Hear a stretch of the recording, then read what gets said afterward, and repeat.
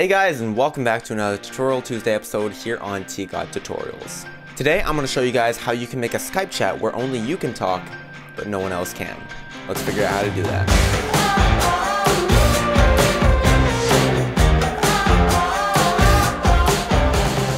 This video was brought to you by TGOD Designs. Order fully customizable video intros, as well as banners, outros, and profile pictures. So basically, for this tutorial, all you need is Skype, and that's pretty much it, this tutorial. Basically, what we're trying to achieve here is a Skype chat in which only you and those whom you pick can talk in. Everyone else will not be allowed to talk, but they'll see the messages and they'll be updated on what's going on. I use this a bunch in my Corruption UHC Season 4 collaboration video. It basically made sure that I had a chat in which only updates were shown in, and then made another chat where people could talk freely and converse. It just really made sure that everyone was up to date on what was going on through the update chat, and then everyone was happy being able to talk in the other chat. It's just great if you're trying to organize anything collaborational over Skype, especially for YouTube content. So with all that said, hopefully you guys are hyped for this tutorial. Let's jump right into the software. Alright guys, so here we are in Skype. The first thing you want to do is open up a, a, chat with anyone, any person on your Skype list. It can even be the Skype call testing service. Basically, we need to do this so we can actually type in some commands down here in the text box. For those of you who didn't know, Skype actually has a lot of advanced features that it doesn't normally allow you to do, which you can access through commands.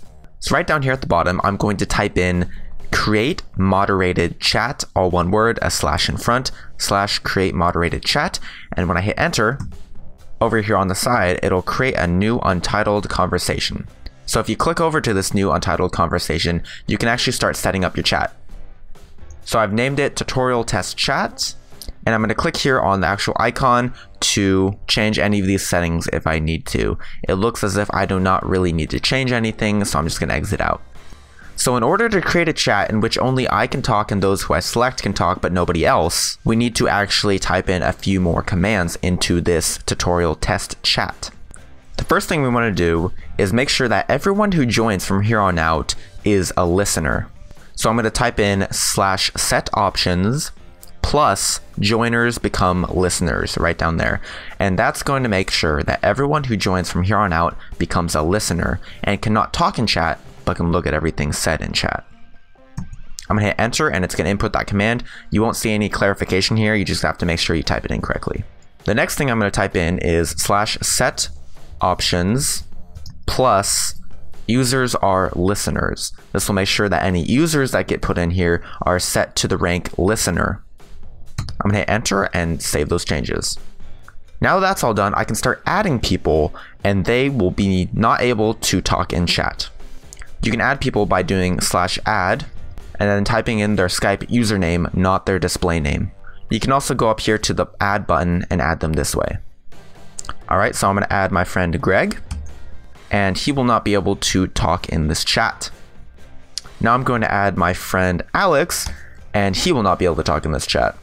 Now, what if I wanted Greg to help out with, you know, talking in the chat, giving people updates, but I didn't want Alex or anyone else that I added in the future to be able to talk? Basically, I would set role to Greg so that he can talk and leave Alex where he is. I'm going to do slash set role live fancy pants spam, which is Greg, and helper. This is going to make sure that he can help in the chat, but he can't rank demote or, you know, promote anyone in the chat to different roles. That power will be left with the creator of the chat, or if I want to set him to master. If I set him to master, he'll be able to, uh, you know, promote people and demote people to different various roles, just as I'm doing right now. For this purpose, I'm going to make sure that he is a helper so I can talk in chat.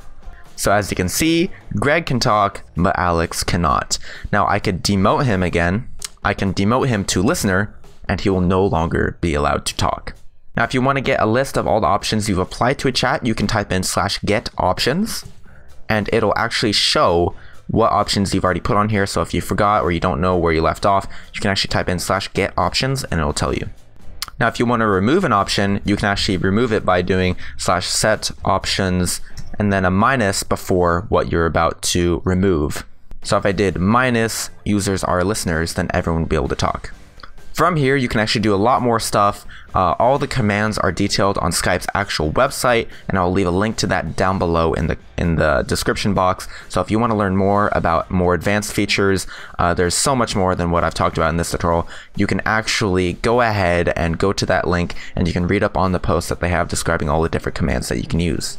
So that's pretty much it for this tutorial. If you want to see more stuff like this, make sure that you stay subscribed and actually you can get a text message when I put up a new video here on TGOD Tutorials. So you can text the code on screen now to be able to be notified by text message whenever we upload a new video. So that's pretty much that. If you're interested in anything else I do here on YouTube, I also have a channel where I upload gameplay, videos, I upload graphic design stuff over on TGOD Designs. And if you want more of a personal look at my life outside of YouTube, you can actually take a look at my channel, The Vlogger Die. So that is pretty much that. Thank you guys so much for watching. If you enjoyed, a like is greatly appreciated. You know, just a little something to give back if you enjoyed. It lets me know that you like this sort of stuff. And, you know, sharing is caring. So with all that said, thank you all for watching and tuning in. I will see you next Tuesday for another tutorial. As always, take it easy. Peace out.